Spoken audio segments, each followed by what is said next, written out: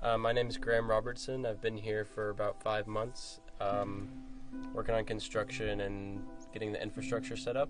So, what I've been doing, as opposed to trying to fill the wall, like all the cracks and holes in the wall with stucco, which is a cement, uh, it's like a 10% cement and lime mixture. Um, I'm going in and filling it in with sand clay first because you can build a lot thicker layers with sand clay. Um, and then if you to get the strongest finish with a cement lime mix, uh, which is sand clay with a little bit of cement and lime mixed in, you want it to be the thinnest coat possible because lime, hydrated lime, in order for it to cure, it has to be exposed to air and water, moisture in the air. Um, and if it's too thick of a layer, it's going to crack. It's not going to cure properly, and it's probably not going to be very weather resistant, which is the objective of why we're plastering these bricks in the first place. So another reason that I'm filling these cracks is because um, it's about to get really cold here. Uh, these cracks will let cold air, or they'll let the hot air escape, um, and will kind of ruin any attempt that you have at heating a building. Little cracks anything from a quarter inch to I'd say an inch wide. You can just use a pretty wet mixture of sand and clay. Um, so just go in. It's best to wet your wall first, but for the sake of demonstration, I'm just going to go in and show. Um, just start from the bottom of the crack and smooth upwards. And just kind of go all different ways. Just kind of cup your hand and push it into the crack. The stucco is a lot stronger the thinner the layer is. So think of, think of the objective like you're trying to get like an eggshell coating on the wall because that way the lime in the in the stucco um, carbonizes more thoroughly. The more it's exposed to air and, and moisture in the air, the stronger the chemical reaction will be. But stuff like this, it's just too, a little bit too big for filling with sand clay. Just push it in, get some like small gravel like this, mix it up with some sand clay, and then just push it in.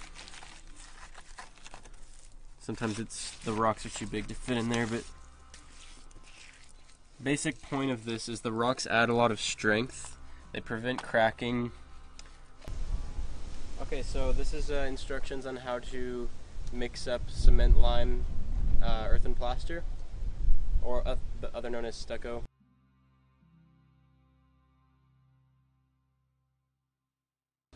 So start out with just enough water to coat the bottom. Um, the next thing that makes things a lot easier is having slip already mixed up, which is one part clay and one part water. Um, what we do, our process for that is um, using a screen and taking dry clay, just any kind of clayish soil, and pushing it through a screen into a, a barrel of water or a wheelbarrow or bucket of water. So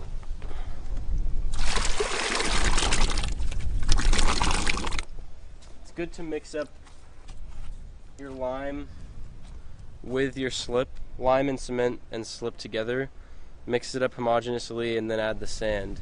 So this is like half a coffee cup of lime or whatever that kind of can is just 5%. Just keep that in mind. You don't really have to be so precise with it. But and the ratios will vary depending on your soil and it takes some experimenting. So what I would recommend is mixing up a few different types and noting what your ratios were and then doing a test portion on the on the wall. So and then writing down what each ratio is and figuring out what's the best for your soils. Um, so then we're gonna mix this up.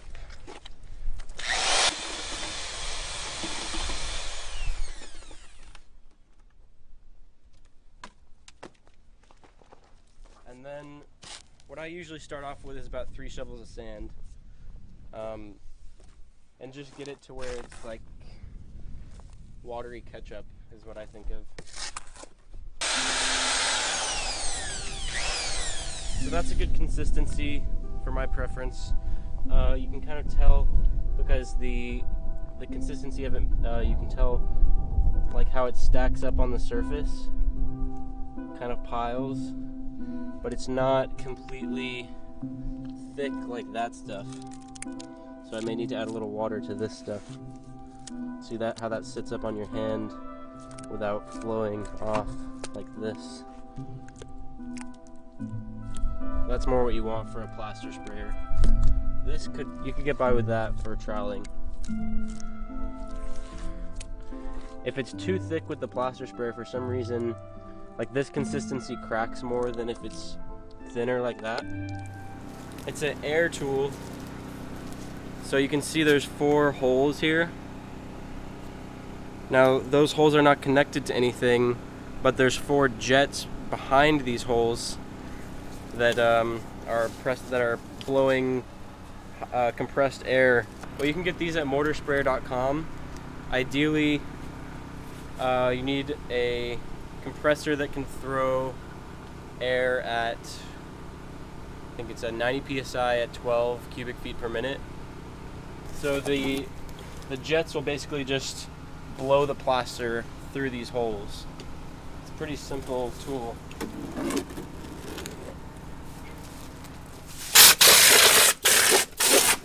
The problem is, that's another um, thing I forgot to mention in my stucco instructions is um, if you're using a plaster sprayer, it's really important to screen all of your sand and clay through a quarter inch mesh.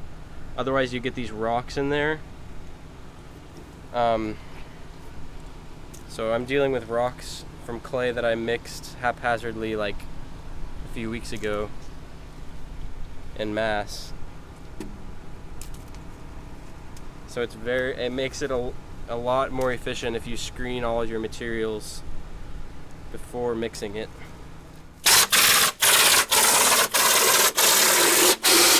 That's what it should do. So I'll usually do like two gallon or um, 10 gallons and then I'll trowel, but I'll just demonstrate. So you can kind of pick up the mud like that and put it wherever there's not enough.